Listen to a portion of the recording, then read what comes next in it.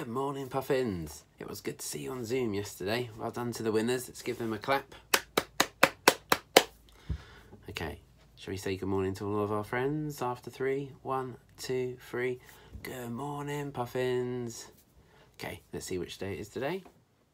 Yesterday was Monday. The next day that comes after Monday is Tuesday. Monday, Tuesday. So, should we find out what number it was yesterday? Let's go. One, two, three, four, five, six, seven, eight, nine, ten, eleven, twelve, thirteen, fourteen, fifteen, sixteen, seventeen, eighteen, nineteen, twenty, twenty-one, twenty-two, twenty-three, twenty-four. One more than 24 is 25. Goodness me, we've done those, haven't we?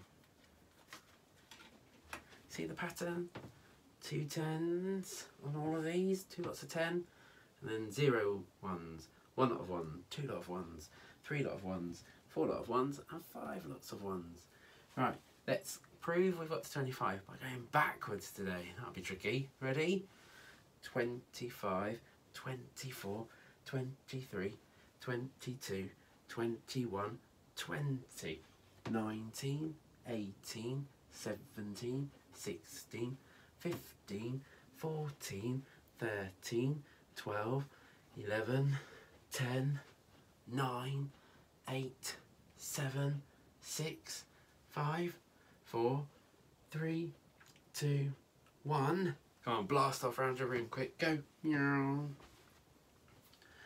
When you come back and you've landed, because we got to 25, I'm going to count in fives today, which means I'm going to start from zero and I'm going to jump to the first five, which is five. So we've got five, and then another five, so five five, five, ten, fifteen, twenty, twenty-five. That's counting in fives. Because if you look, if we went five, and we went one, two, three, four, five more, we get on to ten.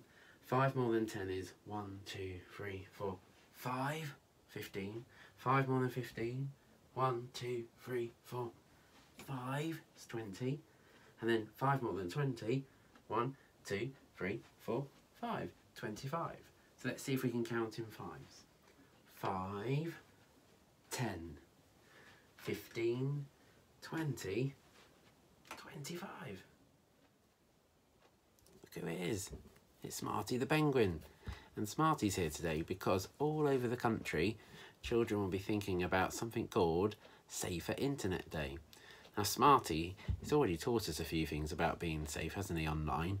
And can you remember his rhyme? Let's see if we can say it together. Before you tap and click, you need to stop and think and tell someone. Now, he's got a different story for us today, and it's about his friend called Detective Digiduck.